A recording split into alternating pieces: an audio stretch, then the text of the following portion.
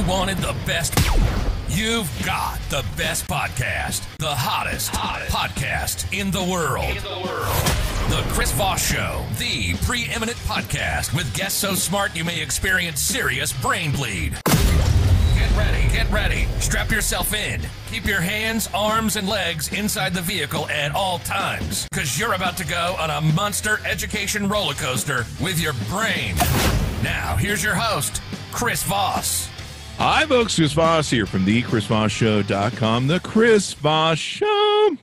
Dot com. Hey, we're coming here with another great podcast. We certainly appreciate you tuning in. We have a super brilliant author on today with his uh, hot new book. We're going to be talking to him. But uh, in the meantime, you can see the video version of this. Go to youtube.com forward slash Chris Voss. Hit that bell notification. You get all the notifications of all the different books that are out there. And also, you can see all the wonderful books of all the brilliant authors that have been uh, authors that have been on the Chris Voss show. You can go to amazon.com forward slash shop forward slash Chris Voss. You can see all the wonderful books out there uh, and uh, buy them, order them up, and all that good stuff. And you definitely want to get this latest book from this brilliant author that we have on today. He is the author of Rigged America, Russia, and 100 years of covert electoral interference. His name is David Shimer. He is an expert on the election security, U.S. Russian relations, and covert action. Uh, he has uh, been rated with the book a New York Times editor's choice, and his reporting and analysis have been published in the New York Times, the New Yorker, the Washington Post, and Foreign Affairs. You may have heard of some of these publications. He's also appeared on CNN and MSNBC to discuss the threat of foreign election interference, and he has been interviewed by the New York Times, NPR, Politico about American Russian foreign influence policy. This guy is brilliant. He knows everything, pretty much, or he's working on it. Uh, Shimer is an associate fellow of Yale University, where he received his undergraduate and master's degrees in history and is pursuing a doctorate. See what I told you? He's working on everything in international relations at the University of Oxford, of all things, as a Marshall Scholar. Boy, I don't know. You might be too uh, smart to be on the show, David. Although I don't know. Maybe we're getting there. Welcome no, I, I think you're overselling me, but that's nice of you to say. Well, I'm I'm reading this bio. Holy crap, man! But definitely welcome to the show, David. Uh, hey, give us your plugs on where people can buy the book and uh, all that good stuff. Yeah, the book's available. It was published by Penguin Random House, so it's available on their website and on Amazon and lo- lots of local bookstores, um, which are well worth supporting and sort of all of the normal places that you would look to try to find a book. Rigged will, I hope, be there. If it's not, then there's some sort of issue. I've seen it everywhere, but maybe that's just the cookies picking me up and putting it there. But it's definitely a popular hot book because of what we're going on for the election. Uh, and then people can find you also at the wilsoncenter.org. You can look up David Shimer at the uh, wilsoncenter.org as well. Uh, so give us a uh, overview on why you wanted to write this book and why it's important.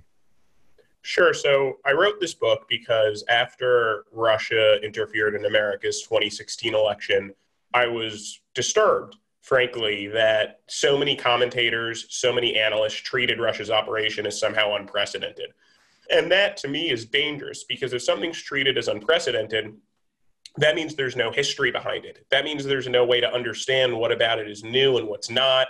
And it becomes very easy to create lies, myths, and misconceptions about a real national security threat, which is foreign interference in our elections. So I sought to basically abolish the myth that 2016 was unprecedented. I restored history in this book to the subject of covert operations to interfere in elections. I showed how the Soviet Union interfered in foreign elections all over the world in the interwar period, how America went toe to toe with the KGB, interfering in elections covertly throughout the Cold War, how Putin's Russia is today interfering in elections all over the world.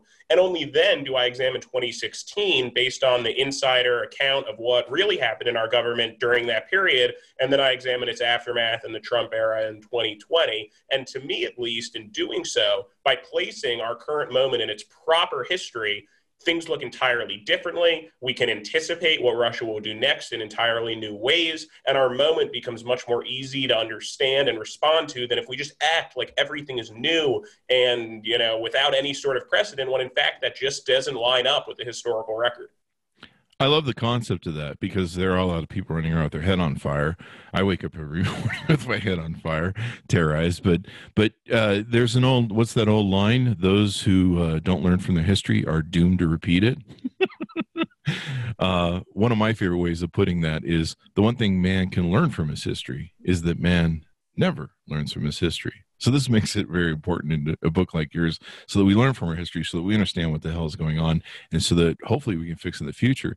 Your book has got two parts. Uh, there's part one, the hidden history, and part two, 2016. Why don't we start at the beginning of your book and lay the foundation of uh, how we got here? Sure. So, what the hidden history sketches out, and this is a story that really starts with Vladimir Lenin, the first Soviet leader in 1919, that then spans to 2016, and that breaks down the three phases in our history of covert electoral interference. The first phase I break down was in between 1919 and 1947 when Vladimir Lenin and then Joseph Stalin interfered in elections um, around the world, most intensely in Eastern Europe right after World War II, in Hungary, East Germany, and Poland, for example, with tools and tactics that in many ways foreshadowed exactly what Putin's doing today. The second phase of that history that I then detail took place between 1948 and 1991, the Cold War, when the KGB and the CIA went, as I said, toe to toe in elections on a global basis. This started when the Soviet Union was interfering in elections in Eastern Europe, and Harry Truman, the US president, made the decision to respond to Soviet election interference with American election interference. He authorized the CIA to engage in covert action formally for the first time with the express purpose of interfering in an election in Italy. So, as I reveal in detail in the book, the starting point of the history of CIA covert action was, in fact, electoral interference. In this period, um, the KGB also interferes in U.S. elections, as I detail. I was able to go through KGB archives, interview a former KGB general to really get at the heart of what the KGB was doing in that period to try to actually destroy Republican candidates, Richard Nixon and Ronald Reagan. With, through again methods that are very similar um, to what we're seeing in our current moment. And then finally, I detail the third phase of that history since 1991, where America has moved away from the practice of covert electoral interference with rare exceptions. And I detail I was able to interview Bill Clinton, and he acknowledged on the record that he authorized a CIA operation to interfere in the Serbian election in 2000 um, to defeat the tyrant Slobodan Milosevic or to work against him. But by and large, America has moved away from this practice. George W. Bush, as I also detail, considered but rejected a covert action program to interfere in an Iraqi election in 2005. Stack that up against Russia's trajectory in its foreign policy, which is not only rediscovering but doubling down on the practice of covert electoral interference, enhancing it through the internet to interfere in elections around the world. I was struck. I interviewed the president of Montenegro, whom Russian intelligence tried to assassinate, the former intelligence of Colombia, who said that he received reports his country was being interfered in. From Ukraine to France to Germany to the United Kingdom, I found officials who said Russian interference is their daily life as Russia executes its strategy, which I can talk more about.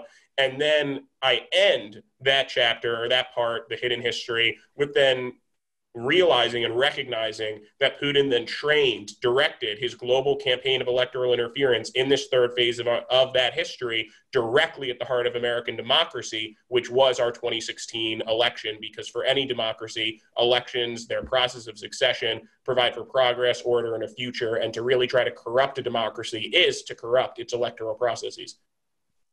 Amazing. The, and what's really cool is you did a lot of interviews for this. You interviewed KGB uh, agents. Uh, how many different interviews did you do? So I ended up doing more than 130 interviews, actually. Holy. Um, which were a lot of interviews. I interviewed eight former um, CIA directors. Um, I interviewed the former KGB general. I interviewed 26 former senior advisors to President Obama, 11 former senior advisors to Donald Trump, folks like H.R. McMaster and Steve Bannon. Um, I also interviewed foreign intelligence chiefs, foreign heads of state, journalists, technology experts, many CIA officers, NSA directors, former secretaries of state, um, Hillary Clinton, John Brennan, Susan Rice, those sorts of folks. And in doing so, it allowed me to create or to meld two kinds of histories archival history, um, source based history in the print sense, but also oral history, recreating debates and discussions around these pressing national security threats to bring readers inside these rooms to understand why decision makers made the decisions they did, why it was so hard, for example, for President Obama to defend against Russia's operation back in 2016, and what we should be, must be, learning from these episodes, from this history, so we do not, as you said, fall into the same pitfalls or, or, or the same crutches as we have in the in this century long story. What's interesting in your book is you have this arc where you show this this basically I guess you call it a tennis match where I think the Russians start everything and then we're just bet you know, we're just batting the ball back and forth in a fight with them and of course other different fingers that we put our pies in. I mean the cia trying to assassinate castro. I don't know if that's in the book but that was one of the ways we tried to interfere with a lot of different things. Um, so did the russians really start this or was it us? And and that's a and that's a side point but i would say to, to clarify for listeners the focus of the book is very specifically on covert electoral interference mm. operations which are covert operations targeting electoral processes involving the deployment of active measures. So I define that as a hidden foreign effort to manipulate a democratic vote of succession. So something like a foreign assassination plot or a coup plot, while very important and historically um, essential to study, is not the, the focus of this book. It's operations to manipulate elections specifically. And in terms of who started this, um, just as a matter of the historical record, the Soviets began engaging in this practice before America did because – America didn't found the CIA until after the Second World War. The Soviet Union had its own intelligence apparatus, had an international organization known as the Communist International, through which it was executing electoral operations between the First and Second World Wars. America then got in on the game, to be clear, in 1947. And as the CIA's chief internal historian told me in an interview, um, the Italy operation that I mentioned became a template for operations the CIA then executed around the world, from Chile and Guyana to Japan and El Salvador, in predominantly seeking to support centrist candidates um, running against leftist challengers. So this was containment against communism applied in the election sense. Um, which made for some pretty extensive and fascinating operations, um, but also made for history that I think is also very applicable to to our present day. Do you talk about the fallout in the book of the those different elections? Like, for instance, how we put our finger on the scale of the El Salvadorian um, elections, and then you look at the fallout from that during the Reagan years with the slaughter of, of a lot of the citizens. Yeah, I mean, I think the the, the example I get the most into um, as to the fallout um, and what it tells us about this history is in Chile um, which is where the CIA engaged in covert action to interfere in Chile's 64 and 70 presidential elections to defeat the socialist Salvador Allende, um, with the justification being that to defeat Allende was to protect Chilean democracy. And that was what officials told themselves in Washington. But the problem with that was Allende won anyway in 1970 um, because these operations bring no guarantees. Um, he then won the election, and Richard Nixon, the US president, had a choice to make, which was do I accept this outcome and hope that Allende preserves Chilean democracy, or do I seek to take Allende out of power by other means? And he chose the latter path. He authorized and ordered the CIA to plot a coup, to foment a coup against Allende. Initially, it failed. Eventually, the military succeeded in overthrowing Allende in 73. He then committed suicide, and Chilean democracy collapsed to a military dictatorship um, that ruled for, for over 15 years. And so, as the result, um, or in the aftermath of CIA covert action, was actually the collapse of a democracy. And the discovery of this operation in the mid 70s um, helped to bring about an inflection or turning point in CIA electoral interference um, so that America started moving away from this practice, but by no means abandoned it. You know, and that was Pinochet.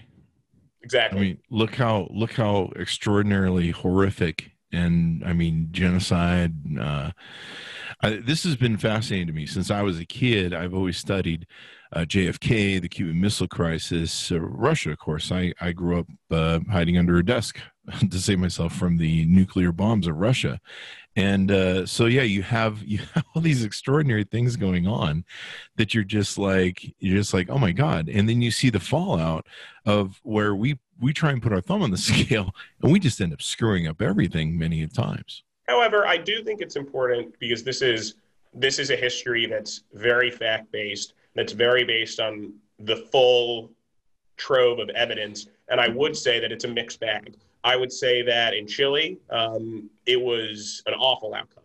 Um, uh, based on the analysis of what happened and its aftermath as, as we're discussing. But in other cases, um, such as in Italy or in Serbia or in otherwise, I think that these were operational outcomes that resulted in the um, support of centrist politicians who remained in power and stewarded, um, maybe not in Serbia, but in Japan, for example, that stewarded their democracy or that helped to remove someone like Slobodan Milosevic, who was himself someone who had who would engage in ethnic cleansing. So, so this is a very complex um, story, and I think it's important to study. But for me, what's most important is that moving forward um, in the future, America should ban the practice of covert electoral interference. The CIA should not be engaging in this practice, and we should say so. And moreover, we should be working with our allied democracies to both punish countries that do engage in this exercise um, and to work with each other in defending against covert operations to interfere in our elections. That's the direction that I believe America should be headed, not responding to Russian interference with American interference, because I think that would be a 20, 20th century mindset to a 21st century challenge. Um, and I think it would be a mistake to fall back into those old habits. The past is the past, but we should learn from it and moving forward what i think we should learn is that it's better to help shore up democracies and punish those who violate the sovereignty of democracies than to get in the mud ourselves. Yeah there's definitely a question of ethics there and how we whether we should be meddling in this or not. But then also i mean we have i, I think right now we have china russia and iran and probably god knows who else probably south north korea interested in meddling in our elections. So if we do step back from that uh, and try and take the high road, if you will, is that is that going to be good or help us in the long run, or what do you think? Well, I, I, I believe that, and let's be clear, we do not yet know whether China or Iran um, is going to engage in covert ac- action to manipulate the 2020 election. There's been, so far as I've seen, no evidence of such. Uh, okay. We know Russia is doing so. We know that China is engaging in public messaging against a candidate, and we know that they've stolen files. We know Iran is targeting and seeking to steal files. But until we see, for example, China release those files through a third party to damage one candidate or another, we're not in the area of, of covert electoral interference. So that remains to be seen. But in okay. terms of why I think that that's important for us to do and why it would actually play to our advantages to move away from this practice, are the Russian objective today is to tear down democracy, to corrupt, degrade, discredit, and disrupt democratic systems is an end in itself. That's why Vladimir Putin, as I detail in the book, is supporting authoritarian minded, disruptive, and divisive candidates all over the world. So, if the objective of Russia is to tear down democracy, our objective should be to build up democracy, to, to strengthen and renew democratic systems. But if we interfere covertly in elections, we're just further degrading the viability of the democratic model of succession. We are playing into Russia's hands, when in fact, what we should be doing is both engaging in domestic reforms in our own country to renew things like local media and education, to secure our infrastructure, to reduce polarization and bring back functionality to, to our democracy while also engaging in our foreign policy in an exercise of renewal in which we're working with our allies to detect these operations and to hold and to, and to impose costs on those who execute them. To me, the best way to do that, or a vital prerequisite to that, is not to engage in the very practice that we're seeking to both defend against and ban. And so that's why I think it's important for America to move away or to, to, to no longer engage in covert electoral interference. Um, but that is by no means a universal thought. Some people in my book, like John Brennan, agree with my conclusion. Others that I quote, such as Harry Reid, um, say that we in fact should, um, in some cases, interfere covertly in elections. So this debate is not settled. Um, and I imagine that that question will emerge with time, as it did with Harry Truman when he had to decide whether to meet Soviet interference with American interference. Over all the different interviews you did, was there a consensus of between the two options of like one that was more popular? So I don't think there was. I, I, I, think what there is a consensus over is that something more needs to be done because right now Russia is engaging, as I said, in this global campaign to manipulate electoral processes. In 2016, as I detail, America was under siege in its elections, not only with regards to the theft and release of emails, to the propaganda across social media, but also Russian intelligence systemically penetrating our election infrastructure, which, according to folks like John Brennan, gave Russia the ability to alter the actual voter data and vote tallies of US citizens directly in our systems. And so to come out of an election like that, where we were so systematically targeted in terms of manipulating both voters and votes, which are the two ways of um, interfering in elections, the response to that should be a national and urgent response to a national threat to our democracy. And it's been extraordinarily unfortunate that this threat has become so partisan in nature, that so little effort has really put, put, been put in on a national level, including with the buy in of citizens, to shore up our defenses because this threat persists. The KGB interfered in US elections throughout the Cold War. Russia started its operation in 2014 to interfere in the last election. They plan to continue it regardless of whether Hillary Clinton or Donald Trump had won, as I reveal in the book. And now they're interfering in the 2020 election. So this threat is going to keep happening, and it's on us to decide whether to really have a whole of nation approach to stopping it or whether we're going to let it be open season on our elections. And I hope that we choose the former path.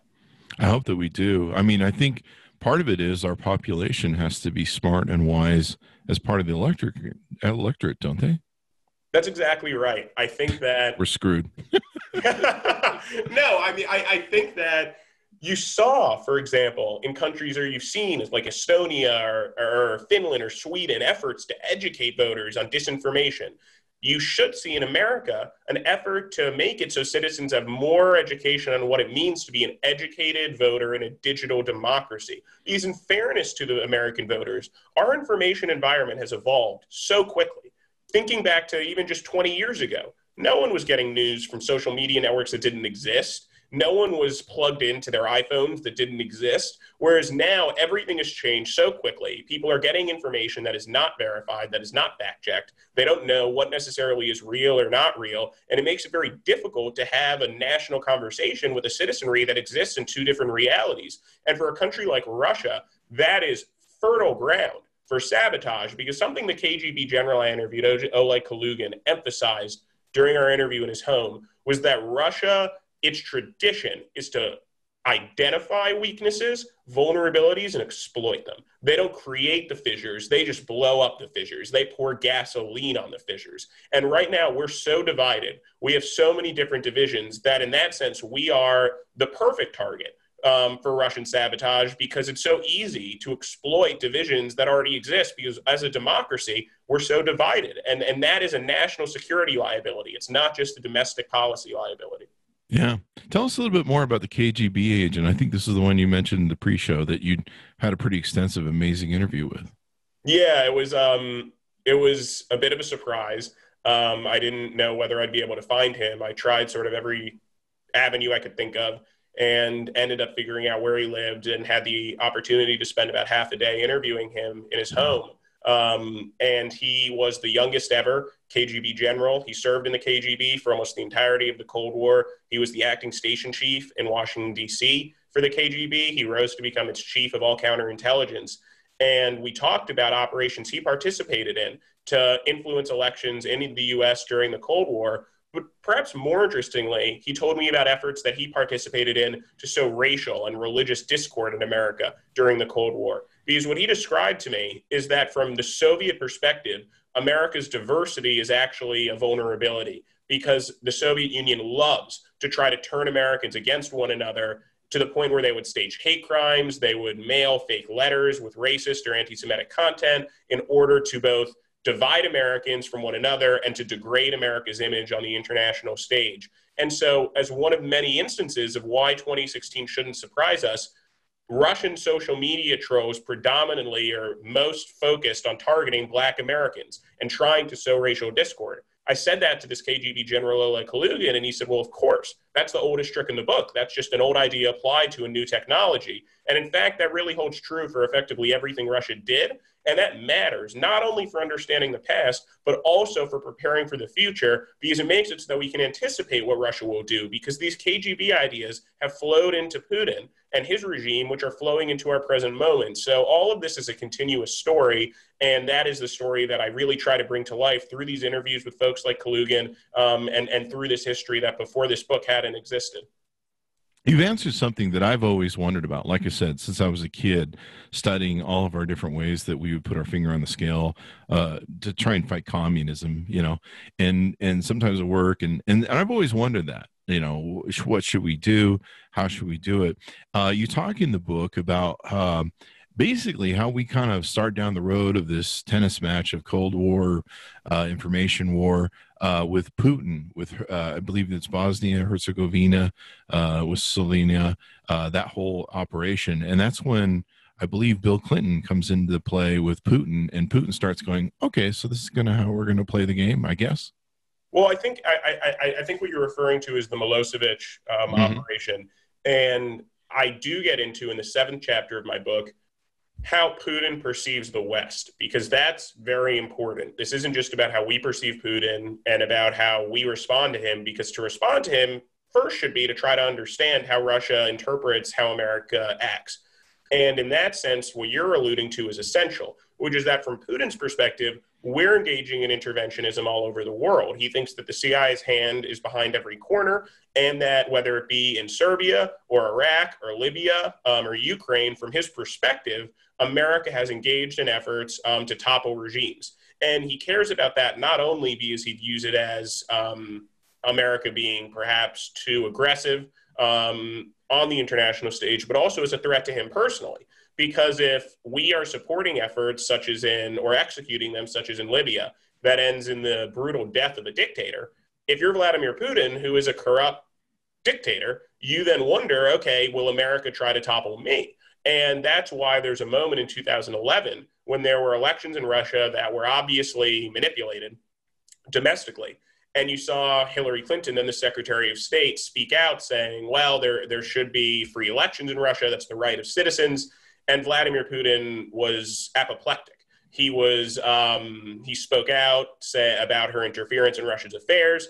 And based on the interviews I did with the station chief of the CIA in Russia at the time, with the deputy director of CIA at the time, in that moment, Vladimir Putin thought that Hillary Clinton was trying to foment a revolution against him as these protests were being underwent, and that that fed into his resentment of her, which helped inspire him to authorize the 2016 operation to defeat her, which was critically, by the way, authorized before it was underwent, it was ongoing in 2014, before Donald Trump had even announced that he was running for president. So I think it's a myth of our current moment that this issue started and will end with Donald Trump's political career. Again, as so many instances in this history, that just doesn't check out. Um, John Brennan and Jim Clapper told me that Russia intended to continue undermining Hillary Clinton had she won the election, which they thought she was going to. Um, so this might be, in some instances, about Trump or Clinton, but it's been in the past about other leaders. It'll continue to be about other leaders. What this is about, above all, is choosing our leaders for us, sabotaging our democracy, and seeking to undermine the viability of the democratic model in the eyes of the world. And that should offend and alarm all Americans, regardless of their party loyalties. Yeah, I, I always tell people you're voting for the Constitution, the four-year caretaker of the Constitution in this in this uh, fragile uh, republic. That's who you're voting for. You're not. It's not about party. It's about you should vote for the Constitution first.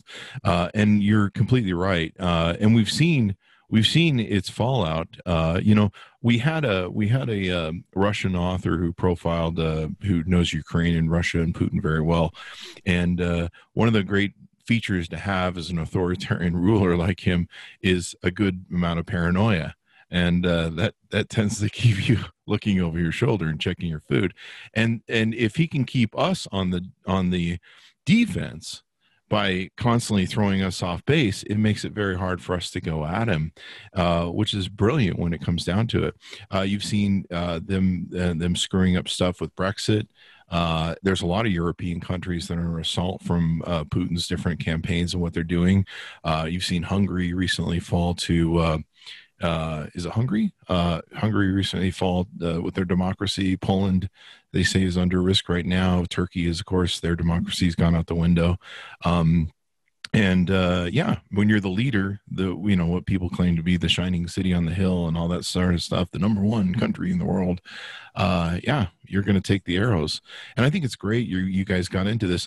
You also talked to uh, in the move you move forward in the second part of the book. You talked about Obama and and kind of what uh, the operation went into there, and you talked to a lot of different people.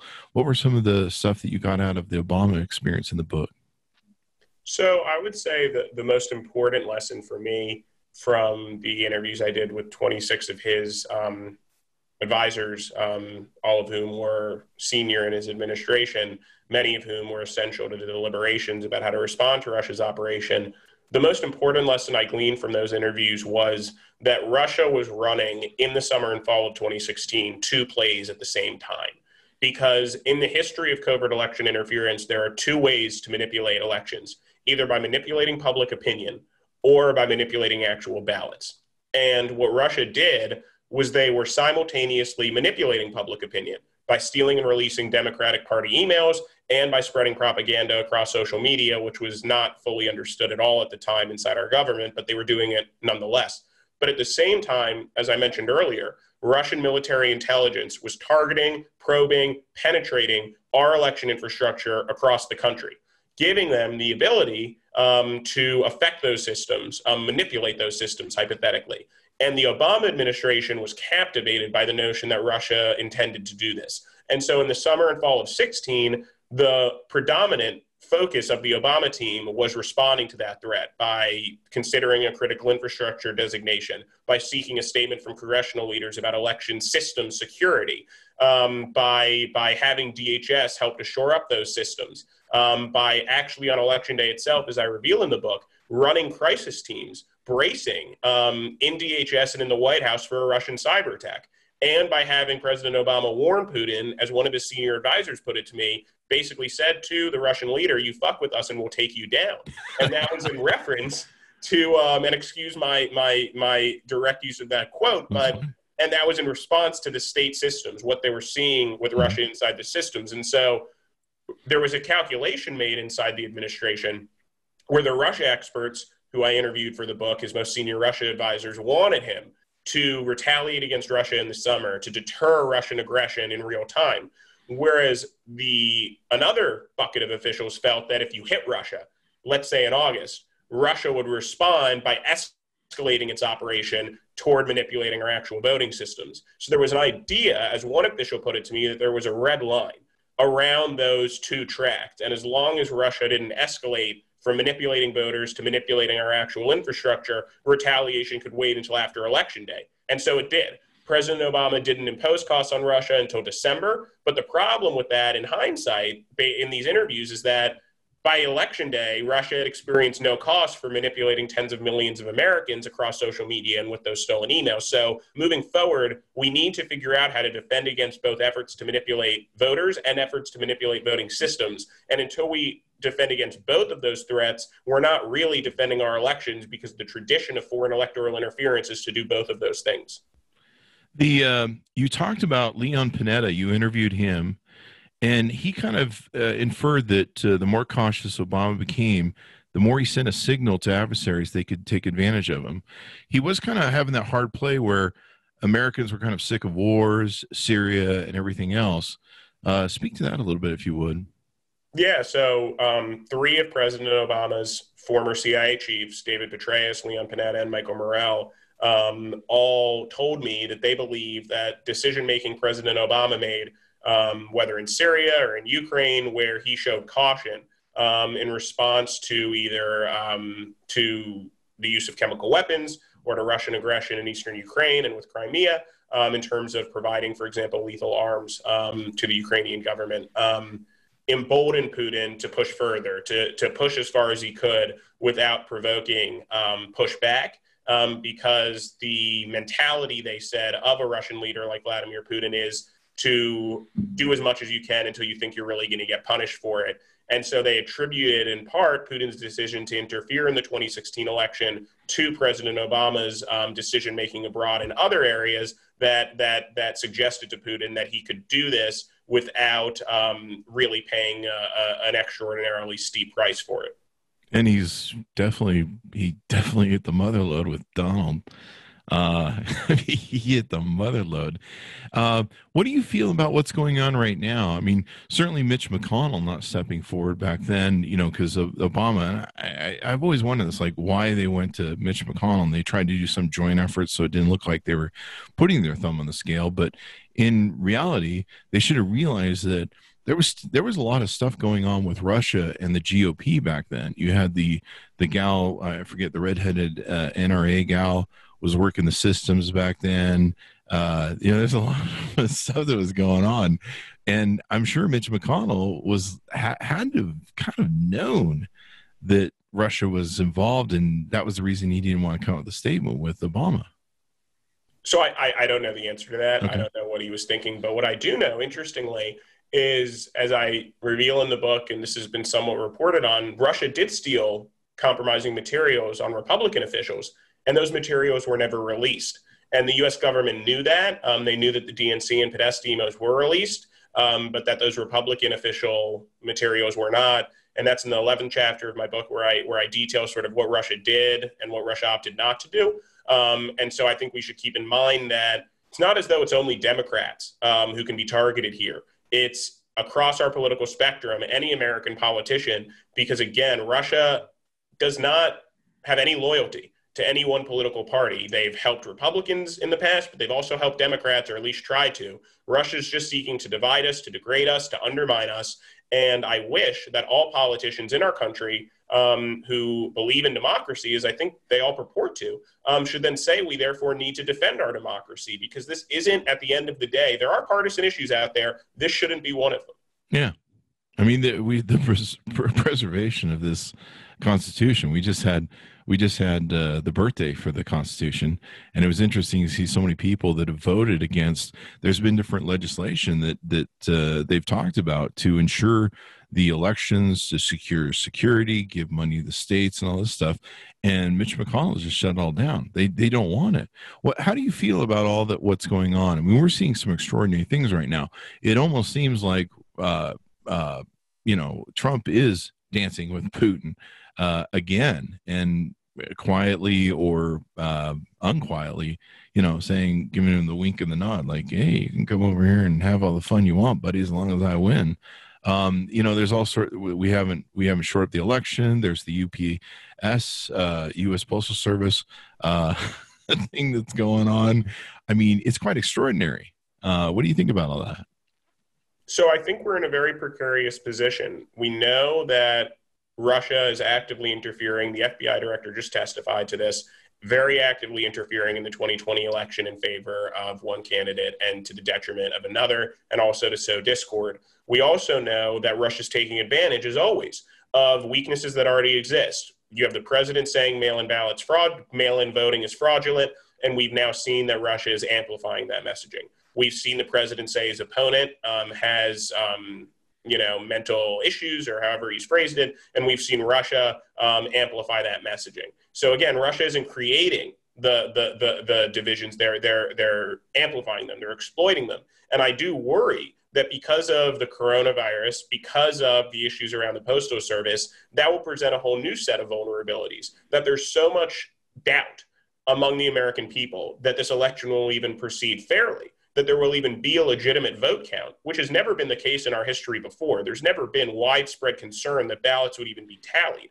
So, from Russia's perspective, whether it's by spreading disinformation about voter fraud or whether it's by actually sabotaging or causing chaos at polling places, that could be an appealing proposition here, not only because of our pre existing vulnerabilities, but also, as you said, because the current president has invited rather than sought to deter foreign interference in our elections, which means, from the perspective of someone like Putin, you can push even farther, knowing there won't be that big pushback. So we'll see what happens next. There's no way to, to foresee exactly what is around the corner, but I am not optimistic or feeling very confident that America is in a position to defend itself in the robust sort of way that I wish it were, having had four years to prepare for the next iteration of this.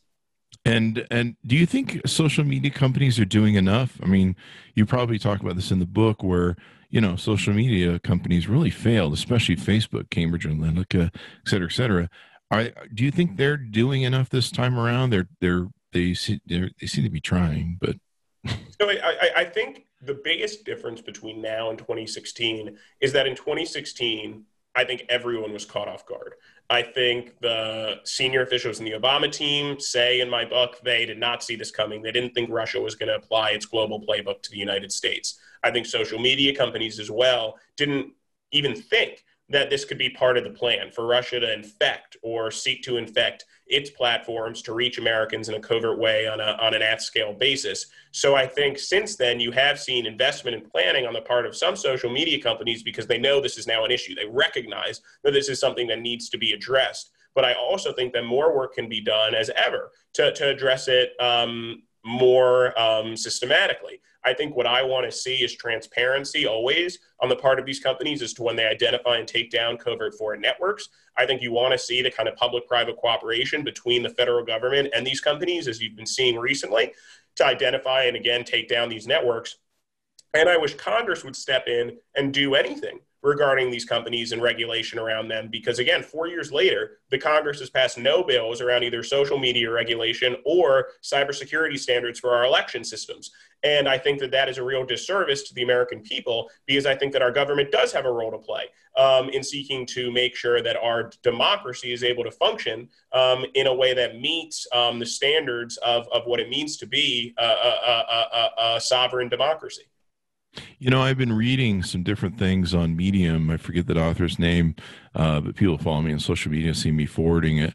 Uh, and he's been he grew up in a in a country that fell to fascism and authoritarianism, and he talks about how we're on that same path. And one of the problems, just like you mentioned, the 2000 election, we kind of underestimated it. You know, we we kind of have this confidence, like you know, we're you know we're undestroyable, we're the greatest democracy ever, blah blah blah. But he talks about how uh, a lot of countries think that. And that's the last thought that goes through their forehead because they're not paying attention because they're living in that we're the greatest country ever. Um, and what this this is how democracies fail is they think they're impervious. They go along with this la la la land uh, sort of mentality. They don't see it coming until it's already upon them because it's very insidious in how it sneaks up. Uh, and one of the reasons they do one of the ways they do that is to destroy confidence in in the electorate's uh, uh, thinking towards uh, voting and if it's fair, if it's good elections, et cetera, et cetera. And we have something even more extraordinary that's probably Putin's just licking his chops over is the coronavirus. We'll, for the first time, not know on election night who the president is.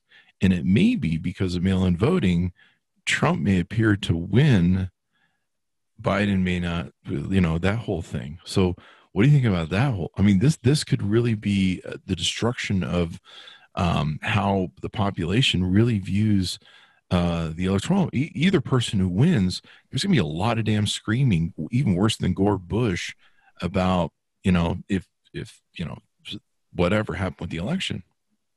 Listen, I, it's it's it's a it's a it's a dangerous situation. It's an unstable situation. I think that for for reasons both foreign and very importantly domestic, um, we are in a, a, tricky spot here because I do think there are a lot of scenarios in which the American people or a lot wide swaths of the public don't buy into the result of the election. And as you said, elections are are at the heart of a democratic system. They provide for for, for a future for those systems. They provide for the ability of those systems to have legitimacy, um, both in the eyes of their people and the world.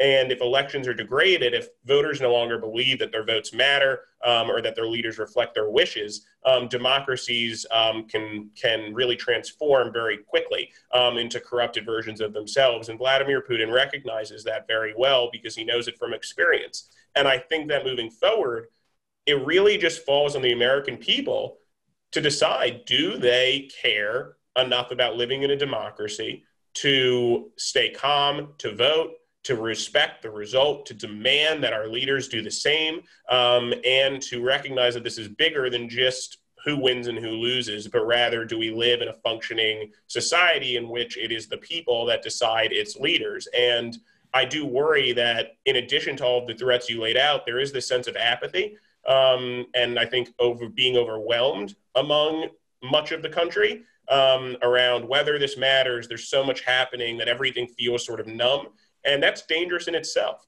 Um, because that allows for leaders to do more. It allows for foreign countries to do more in this sort of nefarious way without really having the sort of public response, public outrage that holds leaders who would like to degrade democracies accountable. And without that, that's a, that's the loss of perhaps the, the greatest check we had, which is the investment of the public in the maintenance of our democracy. And I'm by no means saying that that's no longer there. I think in many ways it is. And I wouldn't be surprised if in the coming months you see real showing of that. But I also think that every citizen should remember that they're part of this democracy. Democracy, democracy isn't necessarily the easy thing. In most cases, it's not but but for me at least it's it's the better thing. It's it's what's worth preserving. And so every citizen has a role to play in voting and also in being engaged and finding fact-based information and preparing for the potential turbulence ahead in helping to maintain our system and even hopefully show that it can function even better than it has in the past in this new digital world we now live in I hope so. I think I saw in Virginia the, the polls are starting to open. It's one of the states. Uh,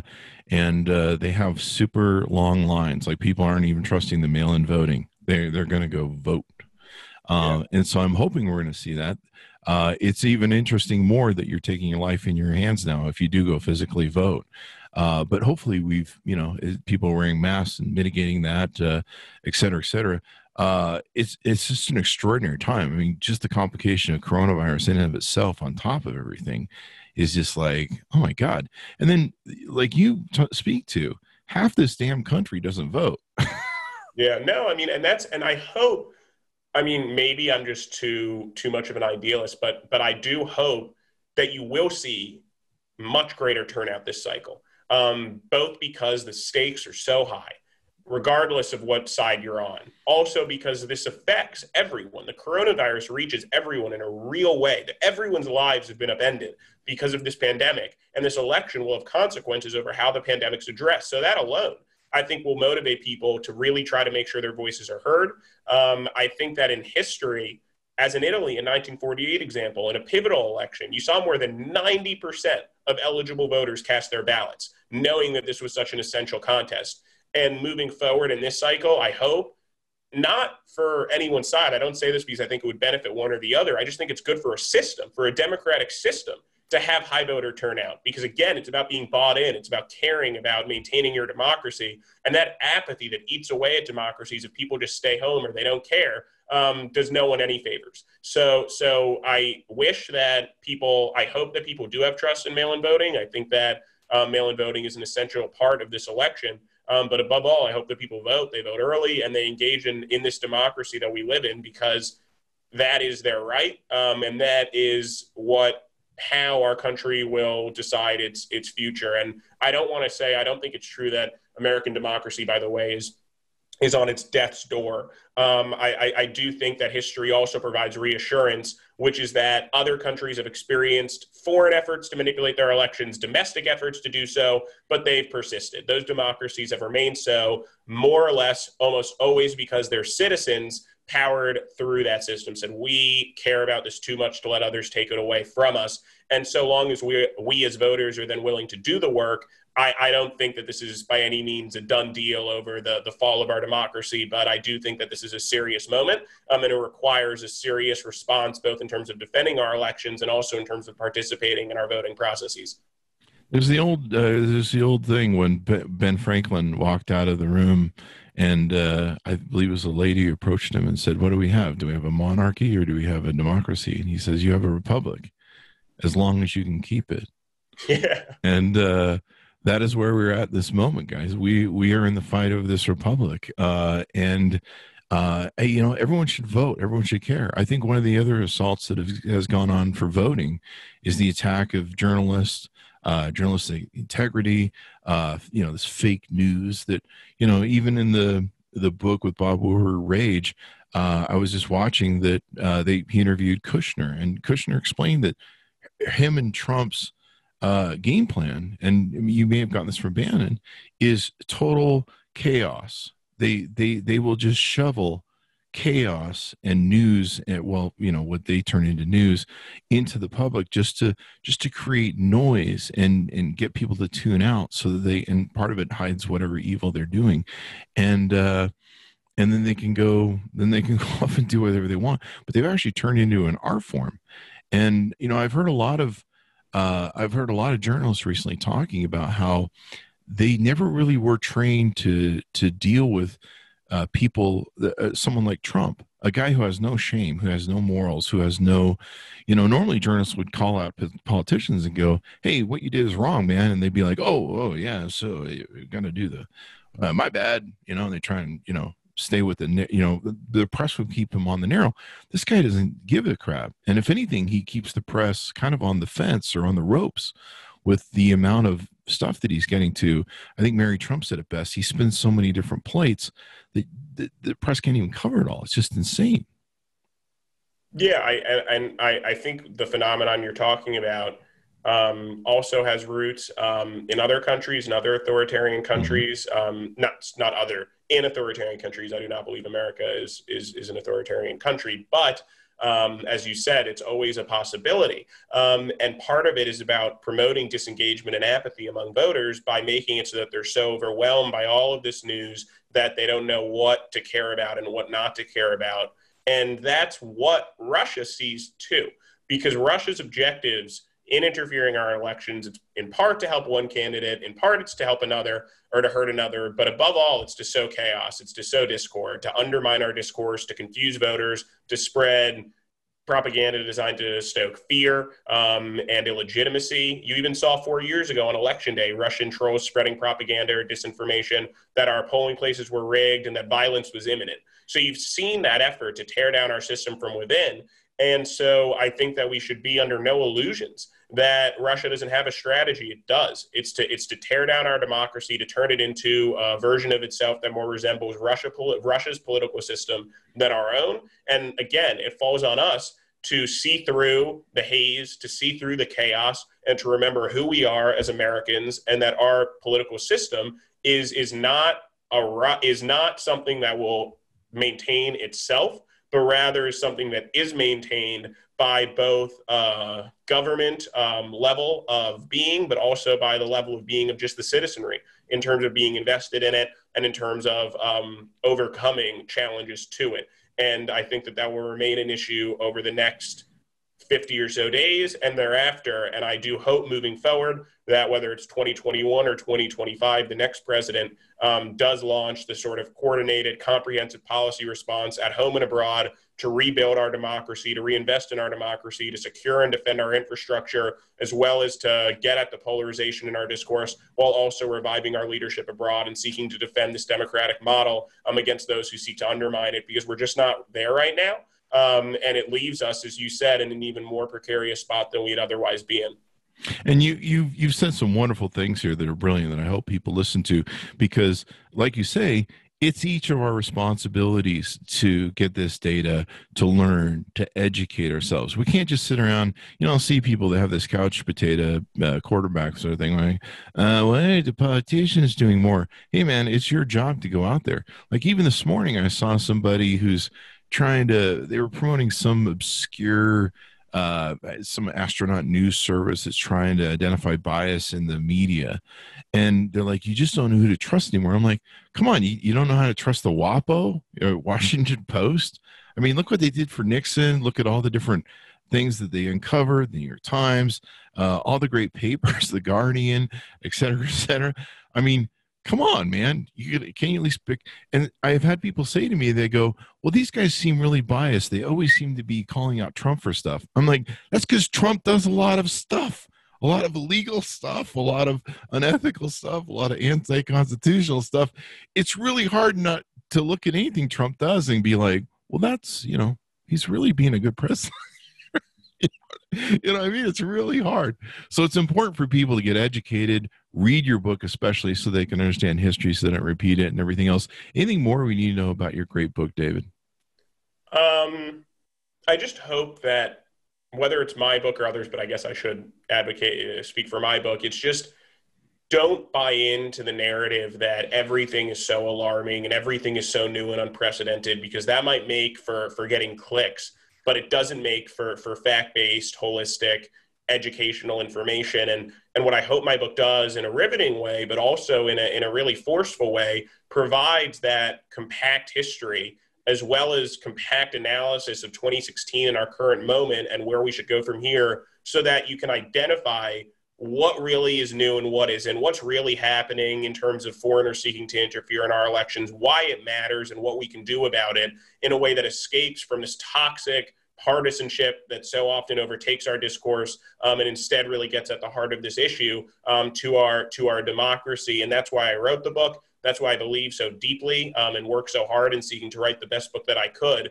Um, and that's why I've been trying to talk about these issues as much as I can, um, because I think it does really matter. And I think it's a real shame um, that this has been treated as such a political threat because Russia knows that it's not. Russia knows that it's a threat to our democracy. Um, and until we recognize it as such as well as a nation, um, we're going to be playing catch up. And I hope that my book for readers will help to really bring that to the fore, um, show this history, what happened in 16, what we can do about it. Um, and, and again, why this all really is important for our functioning as a society and making progress on, on all the issues that, that I think citizens can and do um, should care about.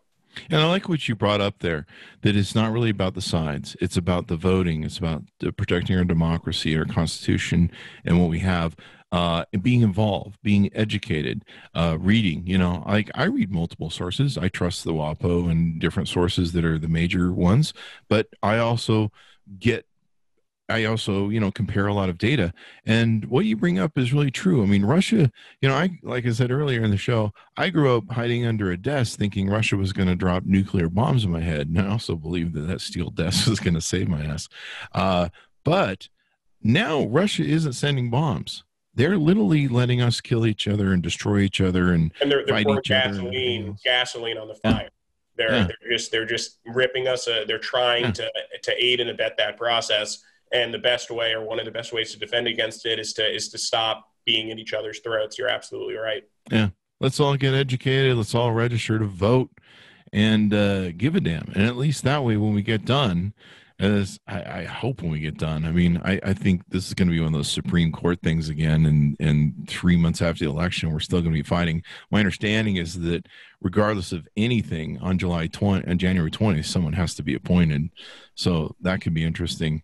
Um, but yeah, it's going to be some crazy days.